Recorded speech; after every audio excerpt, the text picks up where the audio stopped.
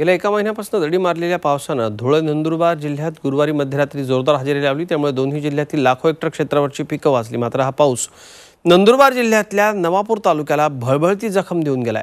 पाच जणांचा बळी या पावसानं घेतलाय.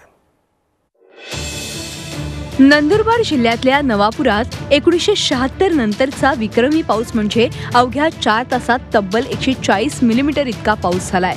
त्यामुळे रंगावली सरपण या नद्यांना मध्यरात्री आलेल्या भयंकर पुरात पाच जणांचा बळी गेलाय. अनेक कुटुंबांचे संसार पुरात वाहून गेलेत.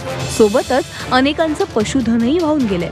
प्रशासन मध्यरात्रीपासून युद्ध पातळीवर बचाव कार्य आणि मदत कार्य करत आहे स्थानिक स्वराज्य संस्था म्हणून या ठिकाणी नगरपालिका ग्रामपंचायत आणि आमचे सर्व मी कौतुक करतो सर्व पत्रकार मित्र यांनी चांगली मदत केली. आपण तात्काळ प्रशासन आता सध्या प्रत्येकाला कशा पद्धतीनं रिलीफ लवकर मिळेल त्यासाठी आम्ही प्रयत्नशील आहोत. नंदुरबार जिल्ह्यात मध्यरात्री चारशे मिलीमीटरपेक्षा जास्त पाऊस पडला असून धुळे जिल्ह्यात बहात्तर मिलीमीटर पावसाची नोंद झाली आहे. वेळीच सर्व स्तरातून मदत मिळाल्यानं मोठी जीवितहानी झाली नाही.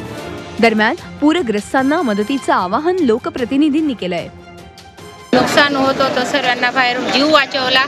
तुम्ही वस्तूंचे काही ब- बघू नका तुमचा जीव वाचला हे तुमचे हे भाग्य. तरी आम्ही भरपूर लोकांनी त्यांना मदत करून बाहेर काढलेला आहे. तरी आपण सरकारने त्यांची भरपाई करून द्यावी अशी मी विनंती करते. नवापूर विसरवाडी भागातील अतिवृष्टी आणि पुरामुळे स्थानिकांमध्ये प्रचंड दहशत पसरली आहे. महापूर रंगावलेला एकोणीसशे शहात्तर नंतर पहिली वेळेस महापूर आला आहे. आम्ही चार वाजेपासून जागत होतो.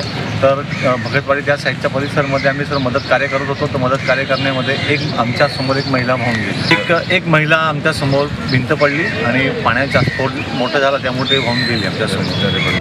ह्या पुरामुळे बोडकझर धनरेट पूल वाहून गेला असून अनेक गावांचा संपर्क तुटलाय. तर नागपूर सुरत महामार्गावरची वाहतूक बंद करावी लागली आहे. Prashant Pardeshi bureau report Zee media Nandurbar.